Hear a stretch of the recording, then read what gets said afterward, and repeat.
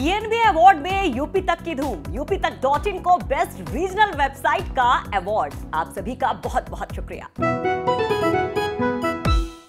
नमस्ते, मैं गौरव कुमार पांडे हाजिर हूँ यूपी तक पर। ज्ञानवाबी मस्जिद में सर्वे का काम पूरा होने और कुएँ में शिवलिंग मिलने के दावों के बीच एआईएमआईएम प्रमुख असुद्दीन ओवैसी बार बार places of worship special provision act उन्नीस सौ इक्यानवे का ज़िक्र कर रहे हैं।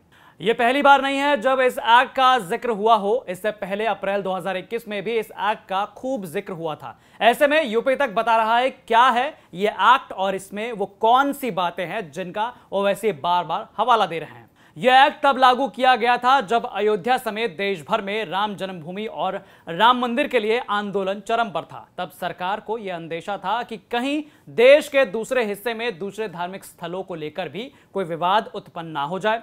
उन्नीस सौ इक्यानवे में नरसिम्हा राव की सरकार यह खास कानून लेकर आई थी। इसमें व्यवस्था दी गई थी कि 15 अगस्त उन्नीस को देश में कोई धार्मिक स्थल या पूजा स्थल जिस रूप में था, उसी रूप में स्वीकार होगा। दूसरे धर्म के लोग उस पर अपना दावा नहीं कर पाएँगे। इस कानून से सिर्फ़ अयोध्या के राम मंदिर बाबरी विवाद को अलग रखा गया है।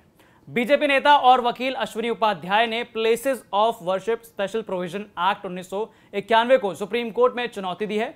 मार्च 2021 में सुप्रीम कोर्ट इस याचिका पर सुनवाई के लिए राज़ी हो गया है।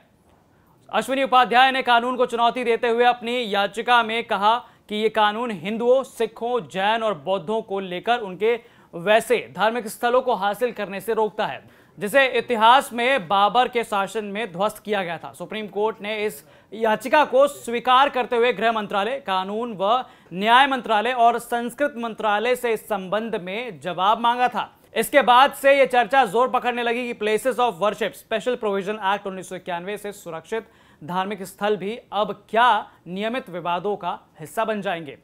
जानिए क्या है places of worship special provision act उन्नीस सौ इक्यानवे। इस अधिनियम को अगर शॉर्ट में समझे तो यह उपासना स्थल, विशेष उपबंध अधिनियम उन्नीस सौ इक्यानवे है। इसका विस्तार जम्मू कश्मीर राज्य के अलावा संपूर्ण भारत में है। 11 जुलाई उन्नीस सौ इक्यानवे से यह अधिनियम लागू माना गया है। वहीं अधिनियम के धारा तीन, छह और आठ के उपबंध तुरंत प्रवृत्त होंगे।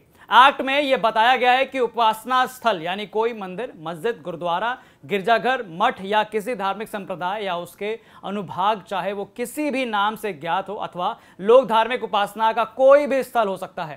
एक्ट के मुताबिक कोई भी व्यक्ति किसी भी धार्मिक संप्रदाय या उसके अनुभाग के किसी भी उपासना स्थल का, उसी धार्मिक संप्रदाय के विभिन्न अनुभाग के या किसी विभिन्न धार्मिक संप्रदाय या उसके किसी अनुभाग के उपासना स्थल में संपरिवर्तित नहीं करेगा।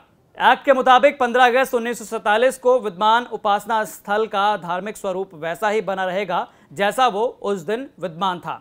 हालाँकि एक्ट में यह भी कहा गया है कि ऐसे किसी धार्मिक स्थल के स्वरूप में 15 अगस्त उन्नीस के बाद सम परिवर्तन हुआ है। ऐसे में इस पर फ़ाइल किया गया कोई वाद, अपील या कार्रवाई उपशमित नहीं होगी। यानी ऐसे प्रत्येक वाद, अपील या कार्यवाही का निपटारा, उपधारा एक के उपबंधों के अनुसार किया जाएगा। एक्ट में यह भी कहा गया है कि इस अधिनियम की कोई भी बात उत्तर प्रदेश राज्य के अयोध्या में स्थित राम जन्मभूमि बाबरी मस्जिद के रूप में लागू नहीं होगी। यह जानकारी आपके लिए लाए हैं यूपी तक वेबसाइट से हमारे साथी ब्रजेश उपाध्याय। बाकी तमाम खबरों की अपडेट्स के लिए पढ़ी यूपी तक की वेबसाइट इसका लिंक जो है डिस्क्रिप्शन में दिया गया है। और साथ साथ तमाम वीडियोज़ और जानकारी के लिए देखते रहें यूपी तक। नमस्ते।